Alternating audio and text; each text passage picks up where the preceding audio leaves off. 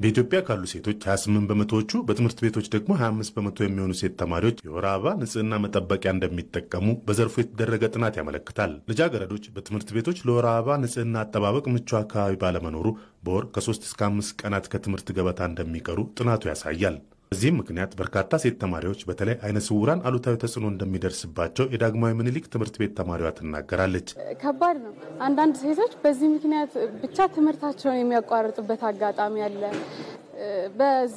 በወር አበባ ምክንያት ብቻ ማለት ነው። እኛ ላይ more ጎልቶ ይታያል። ምክንያቱም ማንኛውም ሰው የሆነ ነገር ሊያልፍ ይችላል እንደምንም አድርገው፣ ግን ለእኛ ሌላ ተጽዕኖ ነው። በጤና ሚኒስቴር የ WASH ና አካባቢ ጤና አስተባባሪ ወንዳየ ውቤ እንደገለጹት የወር አበባ ንጽህና መጠበቂያ በአግባቡ አለመጠቀም የጤና ችግርን ያስከትላል። የጥራት ችግር ባለው ማቴሪያሎች ወይም ደግሞ ጨርቆች የመጠቀም ጉዳይ አለ። ይሄም ደግሞ ለ infectious infection የማምጣት ጉዳዮች አሉት። ኢንፌክሽኑ እንግዲህ ከቀላል ኢንፌክሽን እስከ እስከ infertility ወይንም ደግሞ እስከ መሀንነት የሚያደርሱ ችግሮችን ሊያስከትል ይችላል ማለት ነው። ይህን ችግር ከግምት በማስገባት ጤና ሚኒስቴር ከአጋሮቹ ጋር በመሆን እንቅስቃሴ መጀመሩንም ገልጸዋል። sanitary pad ወይንም ደግሞ የሞዴስ ቀረጥ ከ30 percent ነበረ ከ30 ወደ 10 percent ማምጣት ችለናል። አሁን ደግሞ ወደ ዜሮ ለማድረግ እየሰራን ነው። ተደራሽነቱን ከመፍጠር አንጻር የጤና ሚኒስቴር አጋር አካላት የሚባሉ አሉ፣ WASH ላይ የሚሰሩ ማለት ነው።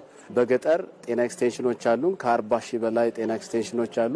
ስለዚህ በሁሉም ቀበሌ ስለ ወር አበባ ትምህርቶችን በጤና ኤክስቴንሽን በኩል በገጠሩ እየተሰጠ ይገኛል። ልጃገረዶች ወር አበባ ላይ በሚሆኑበት ጊዜ የሚያርፉበት ቦታ ማረፊያ class አለ። safe space የሚለውን ነገር እሱን የማስፋፋት ስራ ከትምህርት ሚኒስቴር ጋር አብረን እየሰራ ነው። የጤናና ትምህርት ሚኒስቴር መስሪያ ቤቶች አጋር የሆኑ የተለያዩ ተቋማትም ከወር አበባ ጋር በተያያዘ የተለያዩ ስራዎችን እየሰሩ እንደሚገኙ ይገልጻሉ። ተማሪዎችን በወር አበባ ምክንያት ከትምህርት ገበታቸው ላይ እንዳይቀሩ ትምህርታቸውን እንዲከታተሉ የወር አበባ በረከት እንጂ ችግር እንዳልሆነ እንዲረዱ ይህን ለእነሱ ይዘን መጥተናል። እንደምታየው አንዱ እሽግ ውስጥ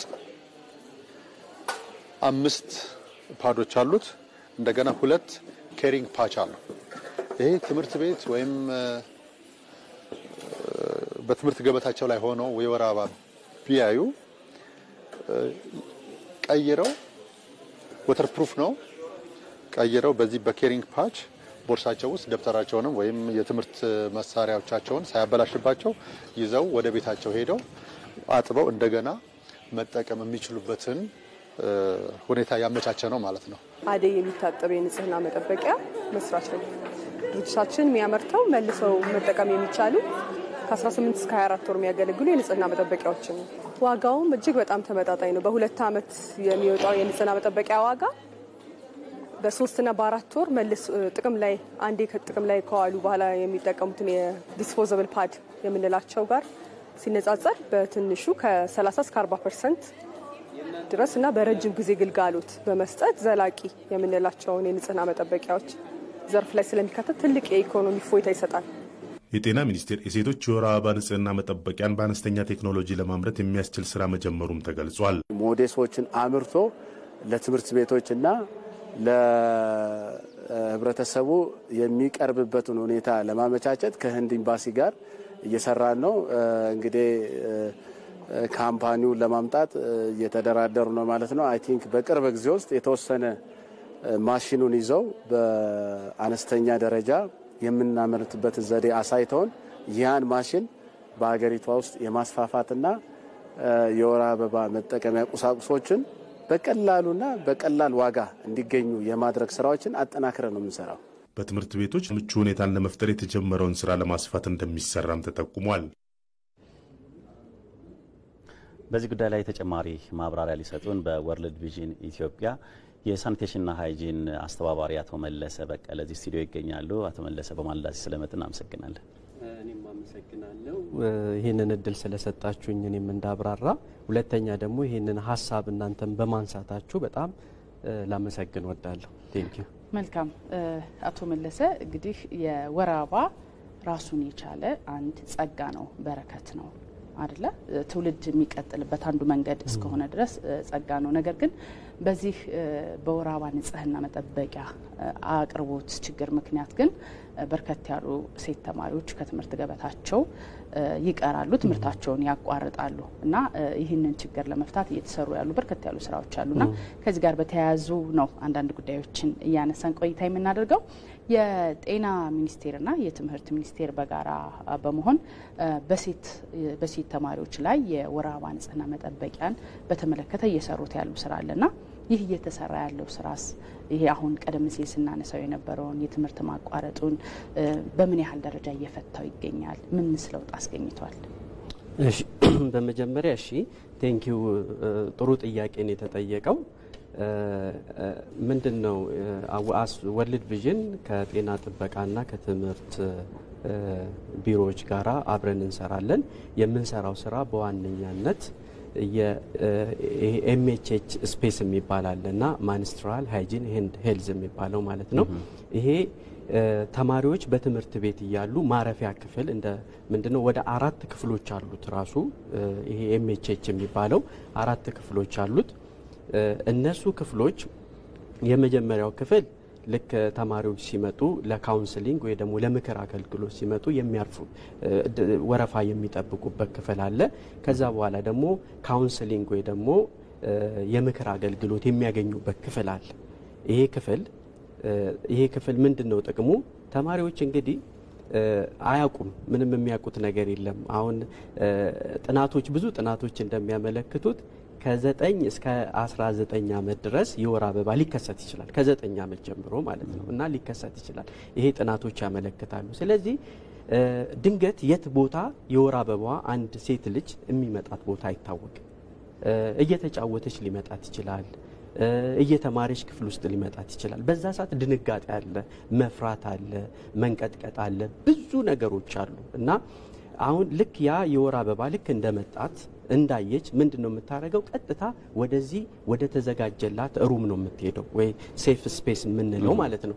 ወደዛ ትሄድና ምንድን ነው የምክር አገልግሎት ነው የምታገኘው። የመጀመሪያዋ ነው፣ ምንም አታውቅም፣ ብዙ ችግር ስላለ የምክር አገልግሎት ታገኝ።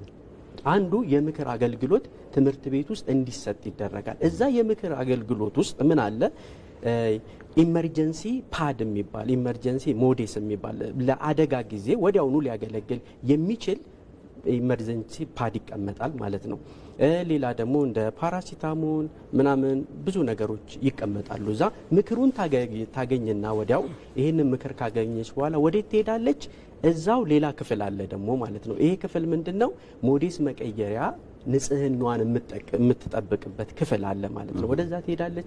ንጽህና ሞዴስ ይሰጣታል። ንጽህናዋን ትጠብቃለች። ቀጥሎ ደግሞ ወደ ቤት አትሄድም ወዲያውኑ ማለት ነው። እዛ rest room ወይ ማረፊያ ክፍል የሚባል አለ።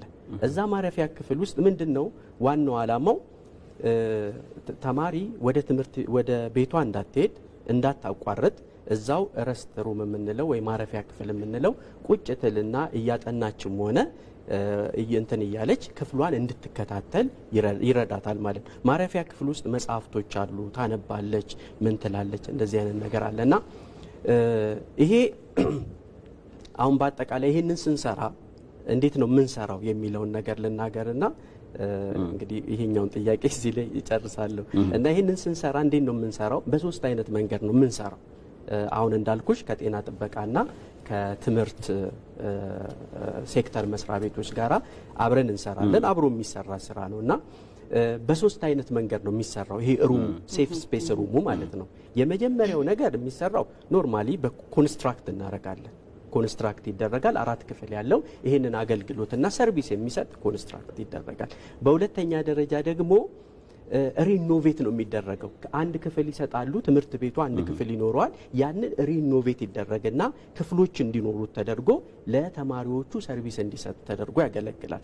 በሶስተኛ ደረጃ ደግሞ እዛው ባለ local material ይሰራል ወይ ደግሞ እዛው አካባቢው በሚገኙ የግብአት የ construction ወይ ደግሞ የግንባታ ግብአቶችን በመጠቀም ይሰራል ማለት ለምንድን ነው ይሄ የሚሰራው ብትለኝ ለምንድን ነው የሚሆነው? በሶስት አይነት መንገድ sustainability ወይ ደግሞ ይሄ ቀጣይነት አሁን በትልቅ construction የተሰራ ብቻ ሳይሆን ቀጣይነቱን የትኛውም ቦታ accessible እንዲሆን የትኛውም የኢትዮጵያ ገጠር ውስጥ ገብተህ accessible እንዲሆን ወይ ደግሞ አገልግሎቱ ምቹ እንዲሆን ለሴቶች ምቹ እንዲሆን እንሰራለን ማለት ነው። safe space የሚባለው ይህንን ይመስላል በአጠቃላይ ለማለት ነው።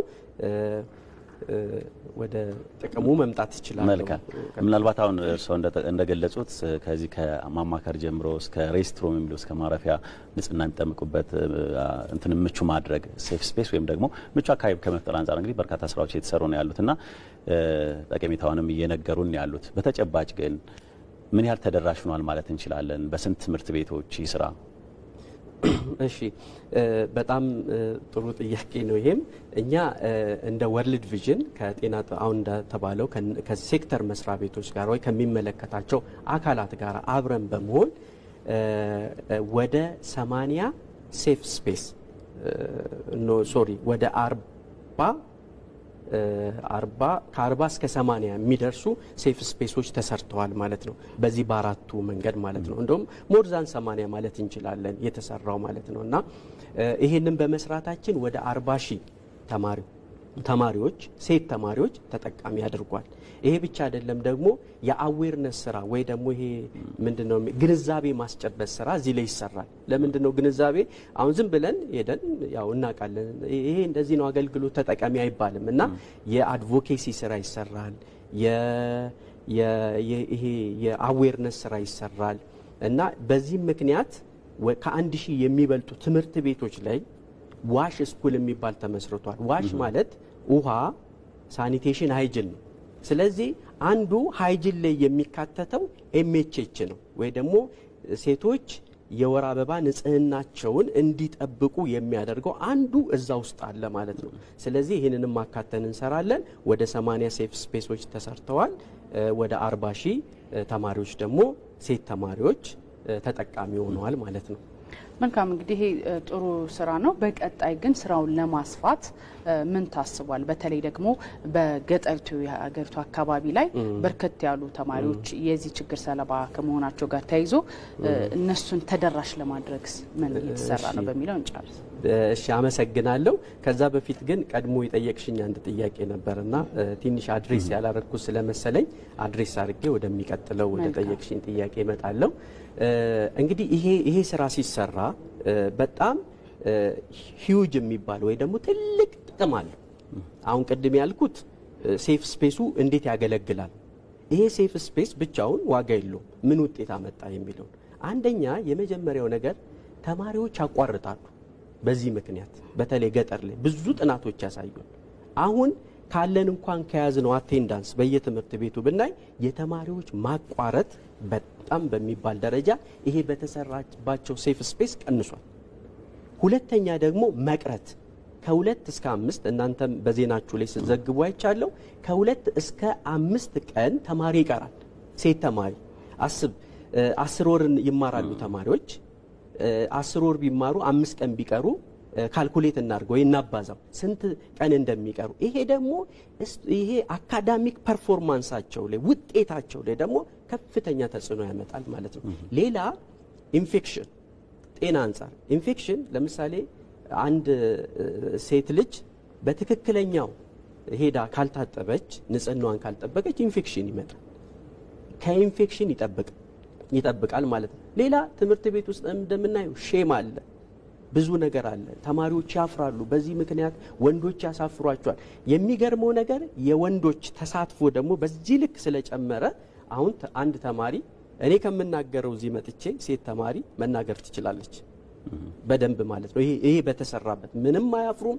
ተማሪዎቹ እንደውም ጉድጓድ ይቆፍራሉ ለእነሱ pad ኡ dispose የሚደረግበት ወይ የሚጣልበትን ይረዳሉ ማለት ነው። እና በቀጣይ አሁንም ከጤና ጥበቃና ከአጋር አካላት ጋር ሆነን እንደ World Vision ብዙ ስራዎችን ለመስራት አቅደናል። የመጀመሪያው ነገር ይሄን ነገር ማስፋፋት ነው። ይሄ ትውልድ ላይ የሚሰራ ስራ ነው። ማስፋፋት ያስፈልጋል። ይህንን safe space የምንለውን ከሰማኒያ መቶ ሁለት መቶ ሶስት መቶ አራት መቶ የምንችለውን ያህል ማስፋፋት ያስፈልጋል። አብረን እየሰራን ነው ማለት ነው። ሌላ የምንሰራው ስራ ምንድን ነው? የ advocacy ስራ፣ የ awareness ስራ የሚገርምሽ ነገር ድንገት እህት ነሽ አንቺ ታውቂያለሽ፣ pad ኣውን ስንት ነው የሚሸጠው? Modess የገጠሩ ህዝብ accessible ነው ወይ ለይህንን pad ለመግዛት ማለት ነው። ዜናችሁም ላይ ሲዘገብ አይቻለሁ። ይሄ በጣም አንዱ ችግር ነው። ስለዚህ ይሄ ከ tax free መሆን አለበት የሚል ትልቅ እንደ ጤና ጥበቃ ሚኒስቴርም የ advocacy ስራ በተለይ ይሄኛው MHH ሲከበር የ advocacy ስራ እየተሰራ ነበር። ይህንንም ስራ አብረን የመስራት ስራ አለን። finally ግን ምንድን ነው የምናደርገው ነገር ይሄ በተለይ የ awareness ስራ በቃ ምንም ማፈር የለባቸውም የሚለውን ስራ እየሰራን እንቀጥላለን ማለት ነው። አመሰግናለሁ። መልካም። በ World Vision ኢትዮጵያ የ sanitation hygiene አስተባባሪ አቶ መለሰ በቀለ ለጊዜዎትም ለሀሳቦትም እጅግ ነው ምናመሰግናል። እሺ እኔም አመሰግናለሁ። መልካም ይስጥልኝ።